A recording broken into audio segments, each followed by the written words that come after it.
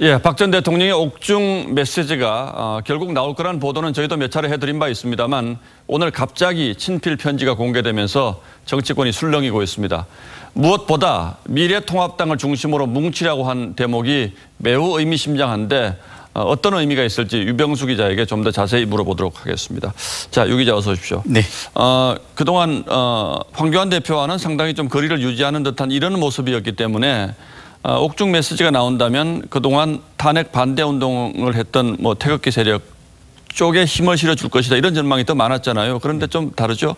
네, 정치권 일각의 예상은 박 전 대통령의 메시지가 나온다면 아, 친박 신당이나 자유공화당 등으로 대표되는 반 탄핵 세력을 중심으로 한 명예회복 쪽이었습니다. 하지만 편지를 열어보니까 달랐습니다. 아, 그 바람에 당장 자유공화당이나 친박 신당 등은 당황하는 분위기입니다. 예. 아, 일종의 이번 총선에서는 친박은 없다 이런 선언으로 정치권에 받아들여지기 때문입니다.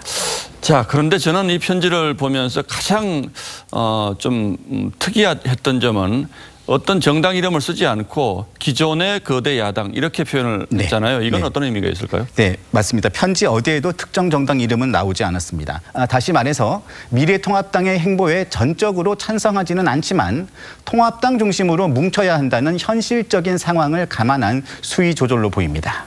자, 수위 조절을 한 것 같다. 자, 그런데 유영하 변호사가 오늘 공개를 했죠. 다 공개하지 못한 어, 메시지가 또 있는 것 같다. 이런 얘기가 있는데 또 메시지가 나올 수 있습니까? 네, 유영하 변호사를 만나서 별도 만나서 얘기를 들었는데요. 예. 그 앞으로 박 전 대통령의 메시지를 말로 아닌 행동으로 보여주겠다고 말했습니다. 아, 그런 점에서 가장 눈여겨봐야 할 부분은 유 변호사의 정치적 거치입니다. 아, 유 변호사는 통합당 창당 직후에 통합당을 탈당해서 친박 신당 합류도 검토를 했었는데요. 그랬던 유 변호사가 미래통합당 복당이나 미래한국당 입당도 현재 검토하고 있는 것으로 알려졌습니다. 아, 이럴 경우에는 당장 자유공화당이나 친박 신당 등의 세력은 급속하게 위축될 수도 있습니다. 그러니까 어, 유 변호사 어, 자기 행동을 잘 보면 박 전 대통령의 뜻이 뭔가 알 수 있다 이런 얘기인 거죠. 네, 그렇습니다. 자, 또 하나의 변수는 어, 통합당과 또 이제 아직은 합류하지 않은 어, 다른 보수 정당들 있지 않습니까? 네. 자유공화당 이런 세력들이 어떻게 이제 자범 없이 잘 통합할 수 있느냐 이런 과제가 이제 야권에 남아 있는데 어, 통합 방식 이것도 지금 좀 논란이 있을 수는 있죠. 여전히 이견이 있습니다. 예. 먼저 각자가 해석하는 통합의 의미가 분명히 다릅니다. 아, 하지만 현재 상황에서 김영호 공관위원장이 공천 작업을 중단하고 통합을 할 가능성은 물리적으로나 정서적으로도 가능성은 높지 않아 보입니다. 예. 아, 다만 총선 본선에서의 선거 구별 연대나 후보 단일화 등이 대안이 될 수 있습니다.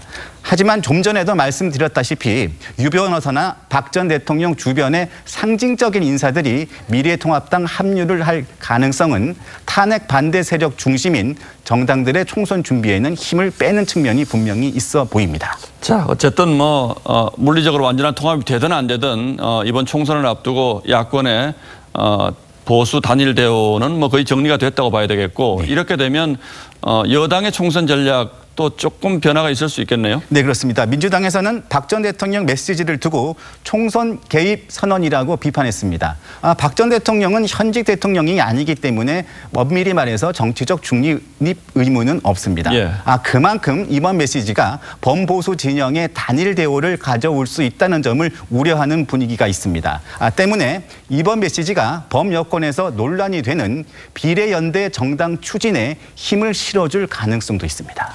예, 과거에 박근혜 전 대통령을 두고 뭐 선거의 여왕이다 이런 얘기를 했는데 이번에도 역시 이제 선거를 앞두고 총선 메시지를 낸 걸 보면 이번 선거에 변수의 한 축이 될 것은 분명해 보이는군요. 네, 그렇습니다. 예, 유병수 기자 잘 들었습니다. 예.